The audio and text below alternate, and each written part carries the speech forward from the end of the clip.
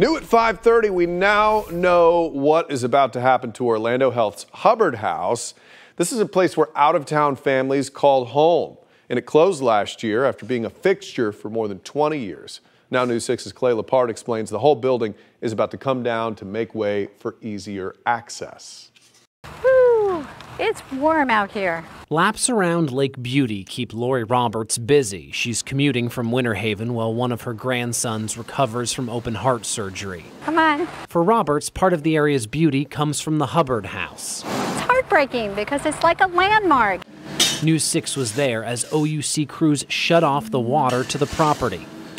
It's one of the first steps before Orlando health officials say it will be demolished to make way for a parking lot. It's a blessing. For years, the building was a home away from home for out of towners whose loved ones were being treated at Orlando Health. We never turn anybody down for inability to pay. Veterans spruced up the building back in 2015 before it closed in December of last year after reports of costly repairs. Volunteers called the closing a shame, saying Hubbard House was a gift to the community. It's a gift Lori Roberts wishes was still available. It is close to the hospital.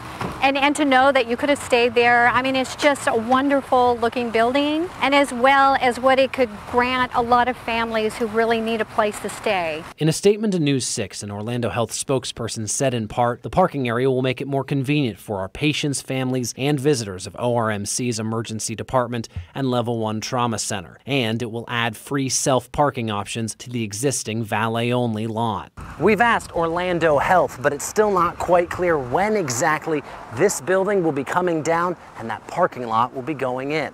In Orlando, Clay Lepard getting results News 6.